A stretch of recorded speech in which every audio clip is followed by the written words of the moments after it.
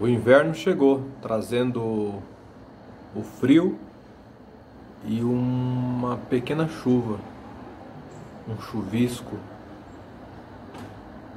uma névoa.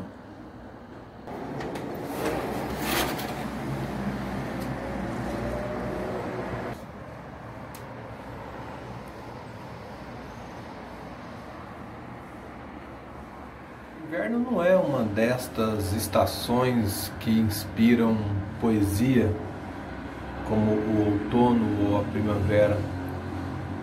O inverno é uma estação um tanto quanto nostálgica, para não se dizer triste às vezes. O inverno é o frio dos tempos é o gélido da história. Mas o inverno, como qualquer estação, passa. Por isso, cubra-se bem antes de dormir.